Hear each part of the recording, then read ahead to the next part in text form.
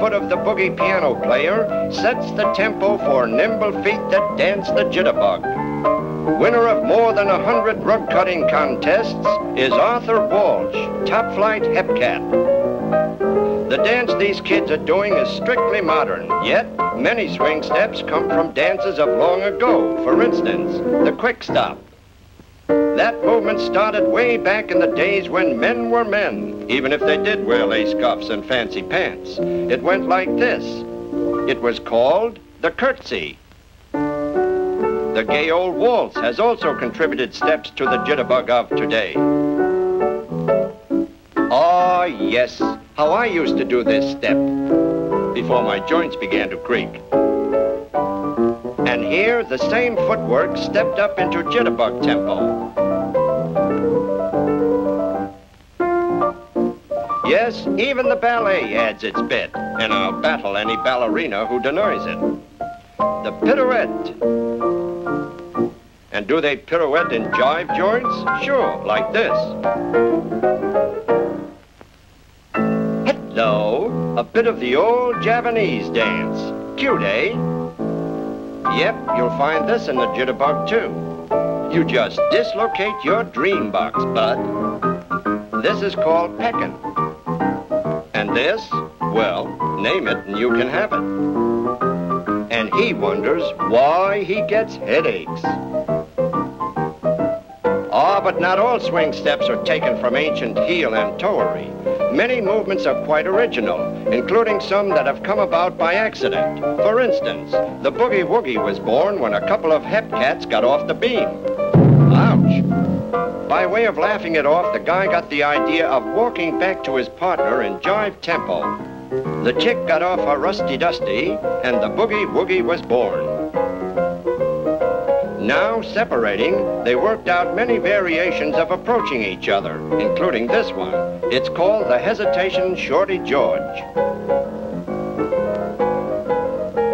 Solid, Papa.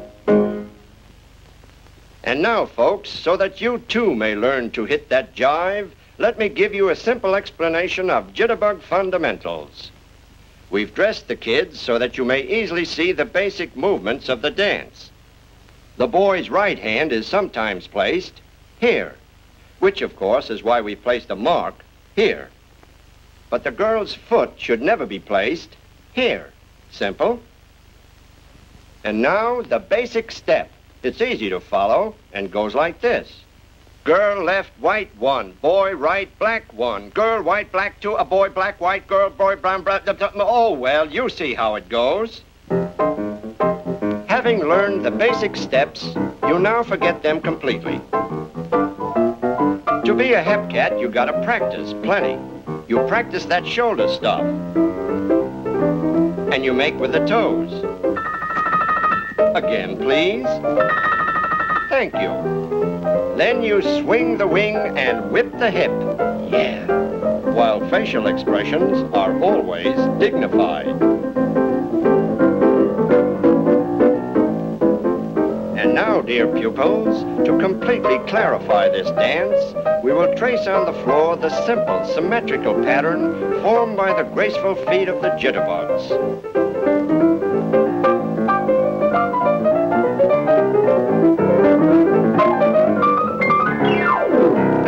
Are. That explains everything. However, my friends, as you will observe, there is more to this torso-tossing technique than mere Terpsichorean pyrotechnics.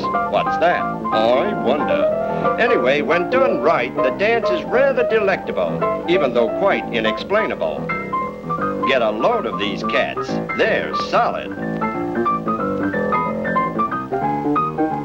Yes, the jitterbug is the dance of modern youth. Why, even our piano player here is just a mere kid.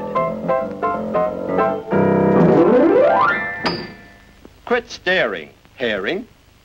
Okay, Worm, let's squirm.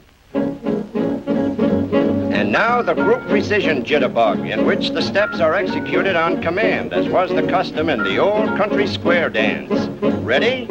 Send out. And shoulder twist, release, dread switch.